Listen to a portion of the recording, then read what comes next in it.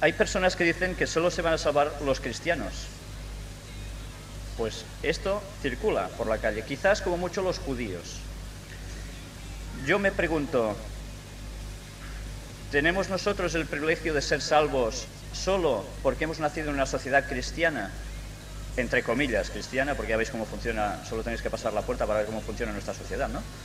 Pero ¿Es justo acaso Dios si solo nos da la salvación a los que hemos crecido en esta población, esta cultura cristiana, y los demás no?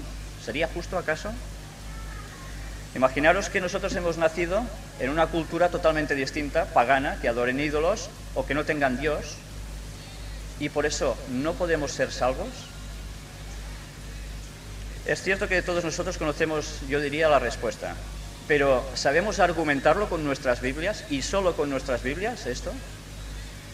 Para empezar, vamos a hacer una reflexión, pero para eso necesitamos poner unas bases. Hoy os recomiendo que cojáis la Biblia todos, porque no os haré leer en público, pero sí me gustaría que leeseis todos los textos conmigo. Creo que vale la pena. Y vamos a empezar nuestra reflexión en el libro de Romanos, que hoy va a ser muy utilizado. Romanos capítulo 3, Vamos a leer dos versículos, el 19 y el 20. Romanos 3, 19 y 20 dice, pero sabemos que todo lo que la ley dice, lo dice a los que están bajo la ley, para que toda boca se cierre y todo el mundo quede bajo el juicio de Dios, ya que por las obras de la ley ningún ser humano será justificado delante de él, porque por medio de la ley es el conocimiento del pecado. Por tanto, el texto nos dice que la ley es para todo el mundo, todo el globo terráqueo. Y según dice aquí, toda boca se cierra ante tal evidencia y queda como la norma para el juicio divino. ¿Un juicio sin ley no es acaso una burla, una camama?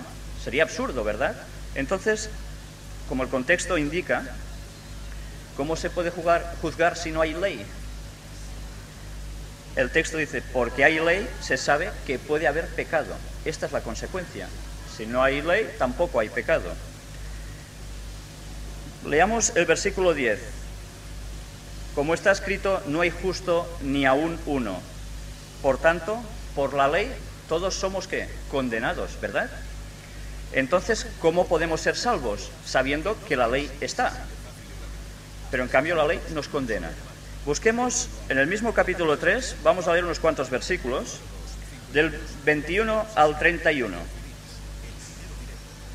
Pero ahora, aparte de la ley, se ha manifestado la justicia de Dios, testificada por la ley y por los profetas, la justicia de Dios por medio de la fe en Jesucristo, para todos los que creen en Él, porque no hay diferencia, por cuanto todos pecaron y están destituidos de la gloria de Dios y el versículo 24 nos dice, siendo justificados gratuitamente por su gracia, mediante la redención que es en Cristo Jesús.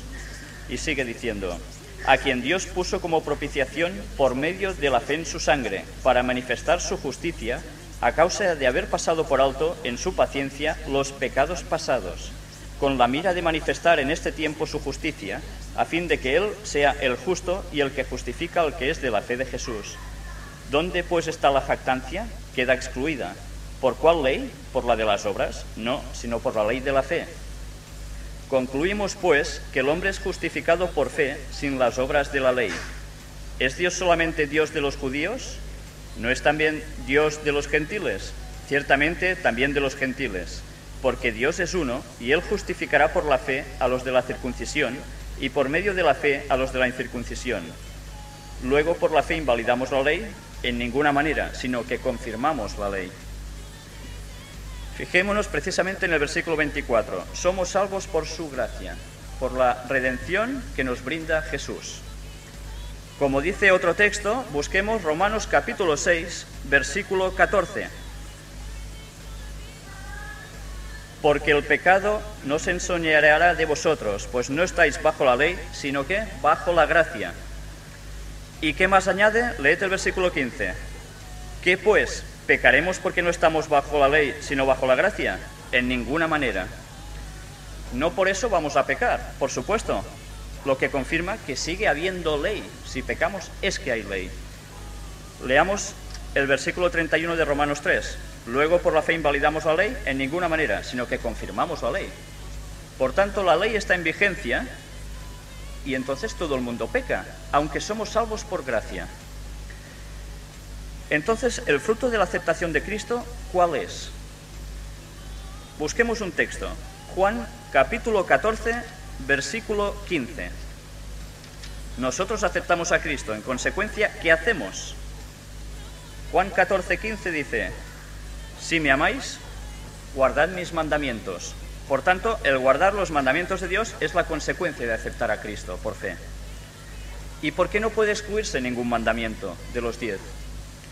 Santiago capítulo 2, versículo 10. Ya os he dicho que hoy vais a buscar bastantes textos y es lo que vamos a hacer precisamente. Santiago 2, 10. Porque el que dijo, no cometerás adulterio, también ha dicho, no matarás. Ahora bien, si no cometes adulterio, pero matas, ya te has hecho transgresor de la ley. Entonces, desobedecer tan solo uno de los mandamientos que implica desobedecer todo el conjunto de la ley, porque es un bloque, no se puede dividir tan fácilmente. Y veamos qué dice Apocalipsis 14, 12. Ahora entenderéis el razonamiento que estamos siguiendo. Apocalipsis 14, 12. Aquí está la paciencia de los santos, los que guardan los mandamientos de Dios y la fe de Jesús. Por tanto, los santos son los que guardan el qué? Los mandamientos. ¿Pero cuántos mandamientos? Los diez. Porque si no, no están guardando los mandamientos desde el mismo momento en que dejan de cumplir uno. Entonces, si nos rigiésemos tan solo por este hecho, la gran mayoría de la población cristiana de todas las distintas denominaciones y de todas las épocas no sería salva. ¿Por qué? ¿Acaso han guardado, guardan o guardarán el sábado? Si nos rigiésemos tan solo por esto, no podrían ser salvas. Es ahí donde interviene precisamente la misericordia de Dios. Fijaros cómo hemos invertido el planteamiento. No tan solo podemos decir, ¿va a ser salva la población no cristiana? Sino que nos podemos llegar hasta preguntar nosotros como adventistas, ¿Va a, ser salvado alguien, ¿Va a ser salvado alguien que no guarde el sábado? Fijaros cómo la pregunta también nos la podemos coger aquí y afectar al mismo tiempo a todas las congregaciones cristianas. Vamos a ver la misericordia de Dios en este punto. Busquemos dos textos paralelos para explicar una cuestión. El primer texto se halla en Hechos capítulo 17 y versículo 30. Hechos 17, 30. Pero Dios, habiendo pasado por alto los tiempos de esta ignorancia, ahora manda a todos los hombres en todo lugar que se arrepientan. Recordad este texto. Paralelamente busquemos otro. Hebreos capítulo 10, versículo 26. Hebreos 10, 26. Porque si pecaremos voluntariamente después de haber recibido el conocimiento de la verdad, ya no queda más sacrificio por los pecados. Por tanto, en estos dos textos nos damos cuenta de dos cosas. Una sería que Dios pasa por alto los tiempos de la ignorancia, hasta que uno no conoce más. Por eso no son culpables, aunque dice que si, no se arrepienten una vez conocen la verdad, entonces sí que pasan a ser culpables. Porque pecar voluntariamente cuando ya se sabe lo que es la verdad va a traer la peor de las consecuencias. Busquemos el texto en el mismo capítulo de Hebreos 10, el versículo 27. Sino una horrenda expectación de juicio y de hervor de fuego que ha de devorar a los adversarios. Entonces, ¿esto va a ser solo para los cristianos de todas las distintas denominaciones o también para el resto del mundo? El que Dios va a pasar por alto los tiempos de esta ignorancia. Hay un texto que nos dice la causa principal de condenación para todo el mundo. Hay un texto clave, Hebreos capítulo 10, versículo 29.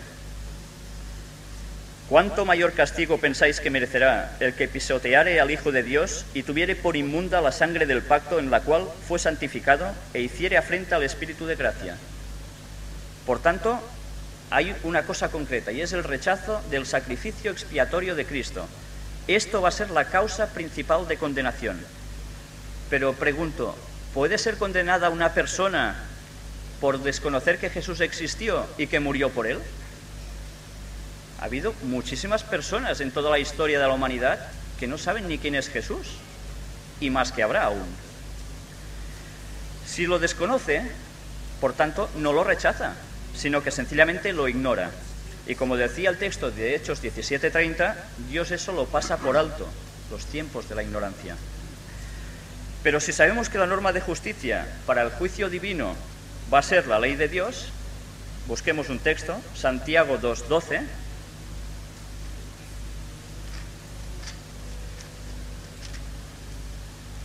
Así hablad y así haced como los que habéis de ser juzgados por la ley de la libertad.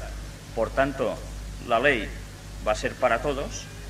Si estas personas no han conocido esta ley, ¿cómo van a ser juzgados? ¿Qué hará Dios para juzgar esto si no conocen esta, la ley escrita? Volvamos a Romanos capítulo 2. Vamos a leer unos cuantos versículos y haremos especial mención de los 14 y 15. Vamos a empezar con la lectura en Romanos 2, del 5 al 16. Vamos a ver cómo van a ser juzgadas estas personas que no han conocido a Cristo.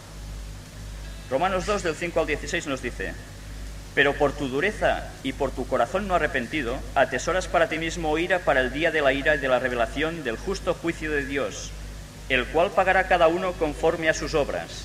Vida eterna a los que, perseverando en bien hacer, buscan gloria y honra e inmortalidad. Pero ira y enojo a los que son contenciosos y no obedecen a la verdad, sino que obedecen a la injusticia tribulación y angustia sobre todo ser humano que hace lo malo, el judío primeramente y también el griego. Pero gloria y honra y paz a todo el que hace lo bueno, al judío primeramente y también al griego, porque no hay acepción de personas para con Dios. Porque todos los que sin ley han pecado, sin ley también perecerán, y todos los que bajo la ley han pecado, por la ley serán juzgados. Porque no son oidores de la ley los justos ante Dios, sino los hacedores de la ley serán justificados. Y atención a estos dos versículos, porque cuando los gentiles que no tienen ley hacen por naturaleza lo que es de la ley, estos, aunque no tengan ley, son ley para sí mismos, mostrando la obra de la ley escrita ¿dónde? En sus corazones, dando testimonio su conciencia y acusándoles o defendiéndoles sus razonamientos, en el día en que Dios juzgará por Jesucristo los secretos de los hombres conforme a mi evangelio.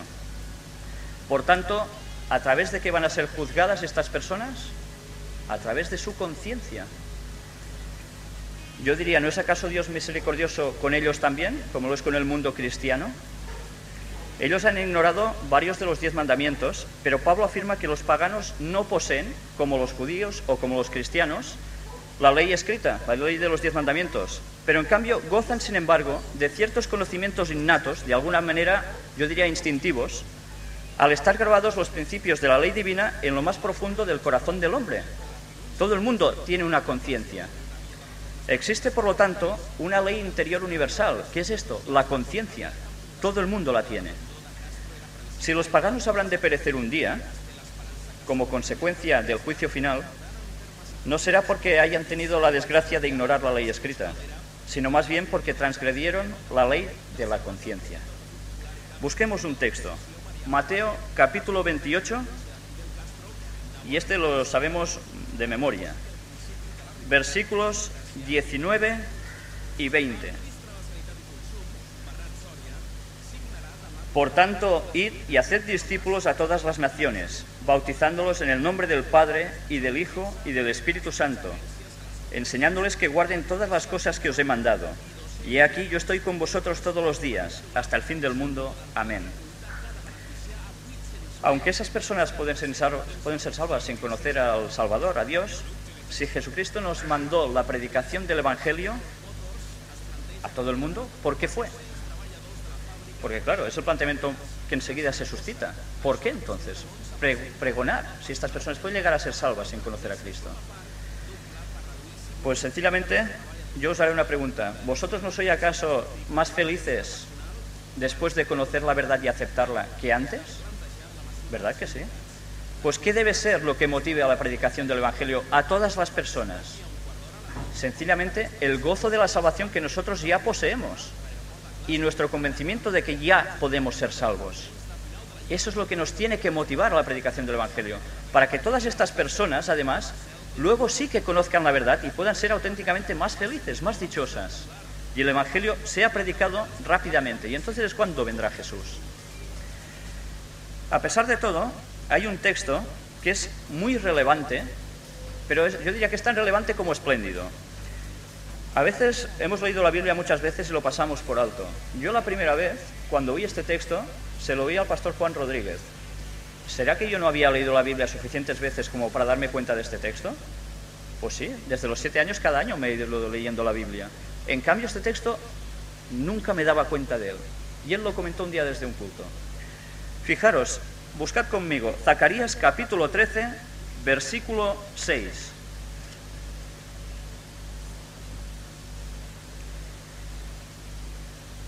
Y le preguntarán, ¿qué heridas son estas en tus manos? Y él responderá, con ellas fui herido en casa de mis amigos.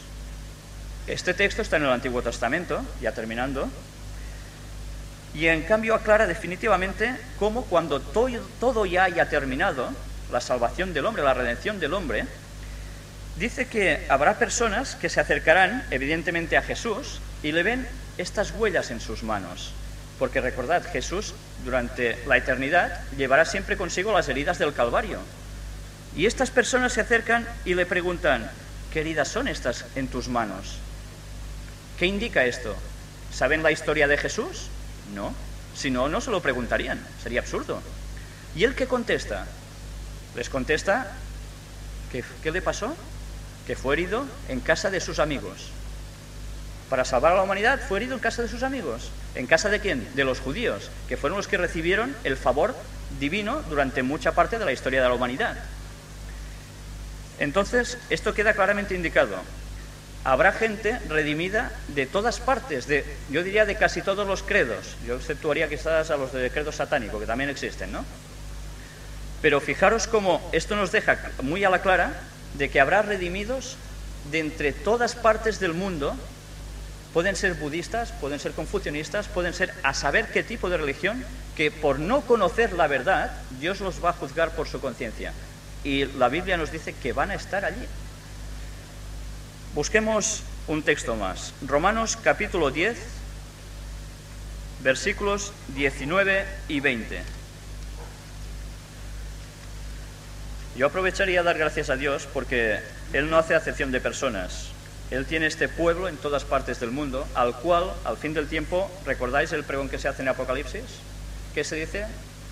Salid de ella, pueblo mío, ¿no? Está diciendo a Babilonia.